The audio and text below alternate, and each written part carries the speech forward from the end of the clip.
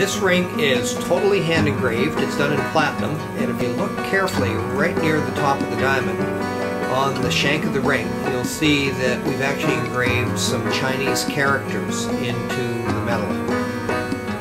And on the side is a single bezel set blue sapphire, and the center stone is a 90 point GIA triple excellent Canadian diamond.